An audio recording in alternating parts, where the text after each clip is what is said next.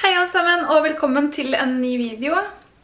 I dag er det torsdag, og eh, jeg og er, eh, er ikke på vei. Vi har tenkt å dra til Ikea nå, for vi trenger noen par ting til leiligheten. Så jeg skal egentlig bare drikke opp kaffen min, og så skal vi dra.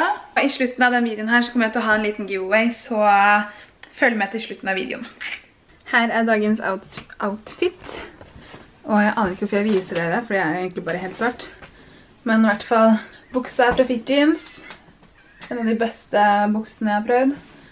Og den her er fra Big Book. Jeg skjønner ikke hvorfor jeg viser dere det her. Men eh, ja, uhu. forebygging av smitte og har iverksatt flere smitteverntiltak. Hva sa du? da? Vi greie. Eller hva tenker tenker jeg du? vil i hvert fall ha noe sånt her som du kan legge liksom klærne på når du skal legge deg og sånn. Ja. Nå er vi i hvert fall på Ikea, og vi har funnet ut at vi skal ha sånne her skuffer i klesskapet. Så vi skal kjøpe liksom den her med skuffer og ha to sånne hver oppå hverandre. Og sette det på hver side av skapet. Så dette er sånn at du har kniver i. Men jeg vil ha en Sånn sånn her. her. Se. Så stapper du bare kniven inn sånn. Jeg vil ha en sånn her på benken, så jeg kan lage guacamole i. Guacamole! Vi tar med en sånn. Hvor er den? Her. Vi har handlet en del da, av sånne kjedelige ting som vi trenger. Eh, kjøkken, eller sånne der, søppelbøtter, litt kjøkkenredskaper, håndklær til badet. Og så skal vi kjøpe det klesskapgreiene. Kan dere komme med noen tips til hvordan jeg kan klippe håret? For jeg har skikkelig lyst til å gjøre noe med det når selvfølgelig ja, når selvfølgelig frisøren åpner da. Men jeg bare føler at det er så langt og Jeg vil gjøre noe med det. Jeg vil ha det litt mer sånn formfullt. Så ja, gi meg tips. Jeg trenger litt inspirasjon til hva jeg kan gjøre. Da er vi hjemme igjen. Og jeg vet ikke om det er fordi jeg er sulten, men jeg begynner å føle meg litt sånn syk. Ja da. Jeg begynner å føle meg Jeg har litt vondt i hodet og litt sånn der vondt i musklene, på en måte. Men det er veldig svakt. Alt er sånn veldig svakt. Men ja. Jeg kanskje innbiller meg Det er veldig lett å innbille seg ting nå for tiden, føler jeg. Man blir veldig sånn sensitiv. Men i hvert fall, nå skal vi lage litt mat. Jeg har egentlig startet litt med å lage litt tikka masala. Ehm, så ja, vi får bare lage mat veldig raskt, fordi jeg er skikkelig sulten nå.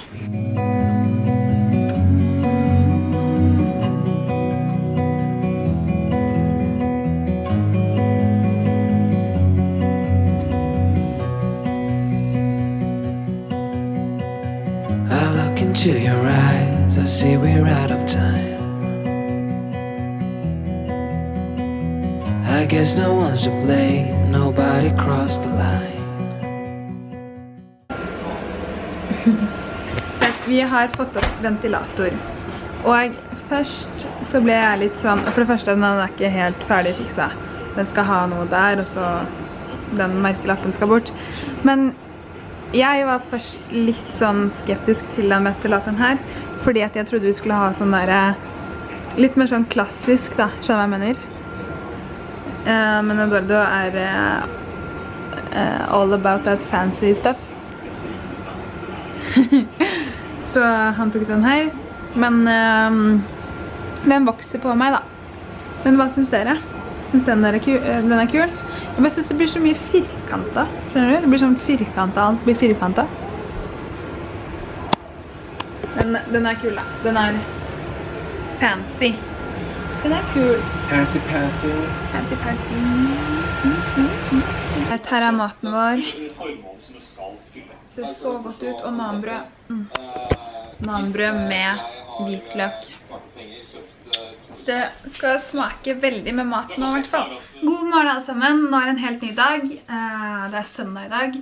Og egentlig så er planen at den vloggen her skal opp i dag. Men jeg har bare ikke hatt noe motivasjon til å filme noe eller sånne ting. Så jeg beklager veldig for det. Jeg sitter og ser på klesskapet vårt nå, fordi jeg skal fylle inn de her i dag, tenkte jeg. Eller i hvert fall starte. Fordi Eduardo har vært flink til å sette inn sine klær. Så jeg skal få satt inn mine også. Um, så jeg tenkte å gjøre det sammen med dere nå. Og så skal jeg få til en treningsøkt etterpå. Og så tror jeg vi skal få kommet oss ut litt, for det er kjempefint vær i dag. Se så fint vær det er. Helt blå himmel. Det er så sykt rart at nå som det er liksom koronatid, og mange er i karantene og sånne ting, at det er kjempefint vær ute.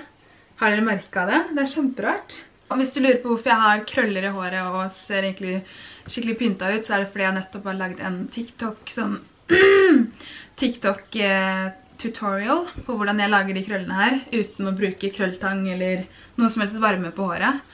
Eh, så gå og følg meg på TikTok hvis du vil vite hvordan jeg har lagd de.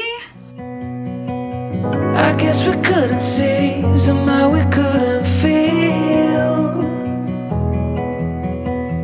Maybe we rose too fast, maybe we got too high. But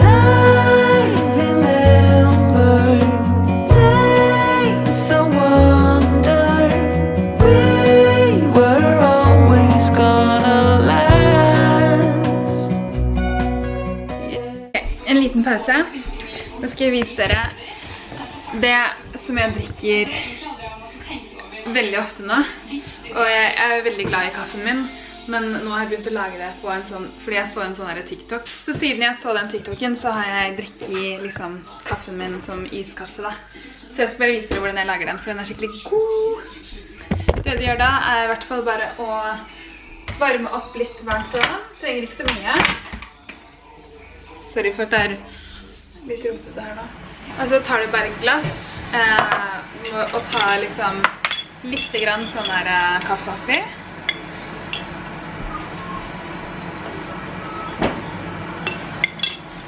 Jeg pleier å ta en sånn skje.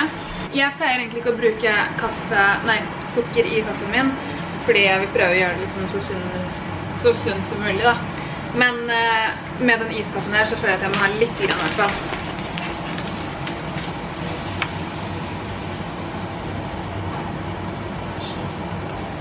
Sånn, og når vannet er ferdig kokt, så tar det egentlig bare å eh, røre det sammen først, så det blir sånn der sirup, liksom. Trenger bare bitte litt vann. Trenger ikke så mye engang. Og så skal du ta oppi isbiter, ganske masse isbiter, og melk.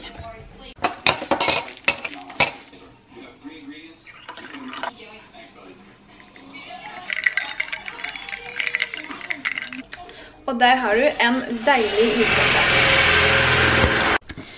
Greit, jeg har ikke kommet så veldig langt, men jeg har i hvert fall fått satt, opp, satt inn treningsklærne mine der, men jeg vil lure på om jeg kanskje skal ha de liksom fordelt vertikalt da, i stedet for loddrett. Er det riktig? Ja, jeg vet ikke. Men jeg lurer på om jeg kanskje skal ta en treningsøkt nå, og så fortsette med det her når jeg finner motivasjonen for det igjen, for det var veldig kjedelig, merket jeg. Men eh, ja, senga er fullt med klær,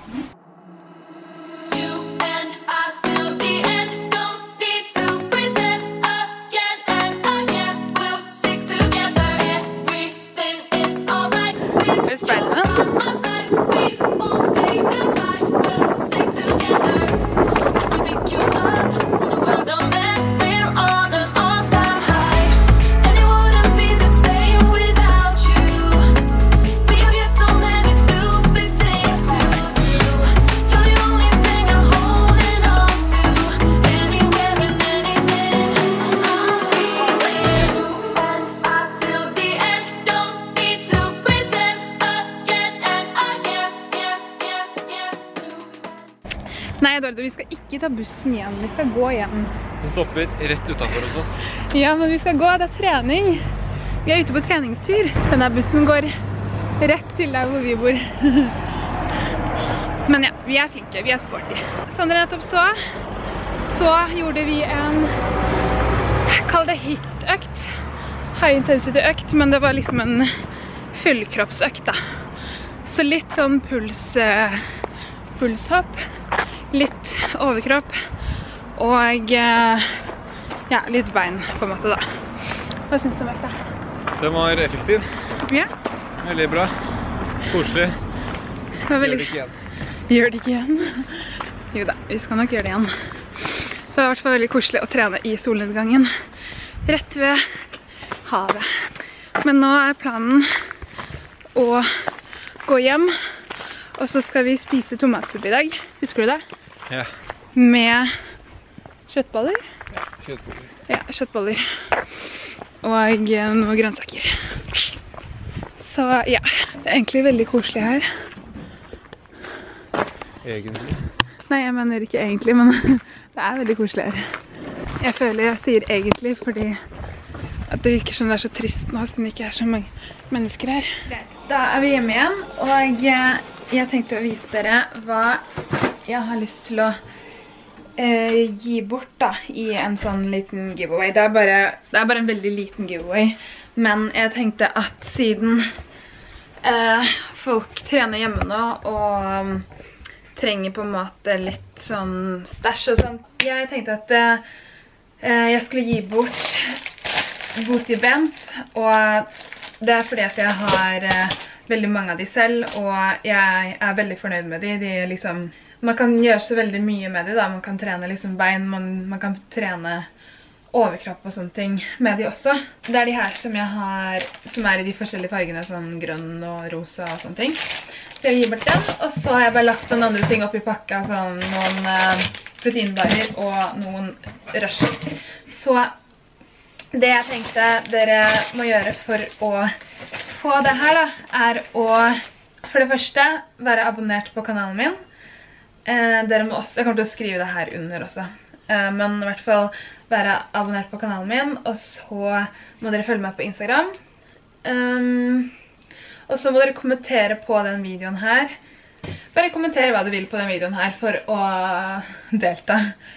Så ja, de tre tingene for å få de her. Så ja, det er bare en sånn...